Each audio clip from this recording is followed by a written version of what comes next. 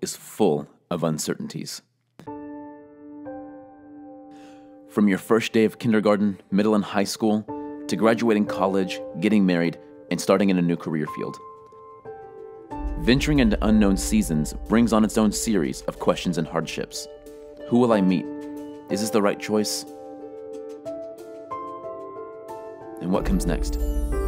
Unknown is scary, it's unpredictable, and it seemingly happens all too frequently. The world is full of uncertainty, but my God is not of this world. From meeting childhood best friends, teachers who mentor, and discovering your passions, to gaining knowledge, falling in love, and wisdom coming with experience. Living through unknown seasons brings answers you need. You reflect and you see all the doors opened and you seize every opportunity. And you see people join hands in times of struggle because we are all in this unknown season together. Unknown is scary, unpredictable, and frequent, but my God is comforting.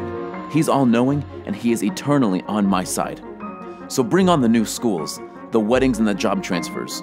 Bring on the first days, the ground zeros, the what comes next moments that change your life. Let your faith be unwavering, borderless, and ever growing. Reach out to God and receive His blessings, then face forward and one step at a time. Venture into the unknown.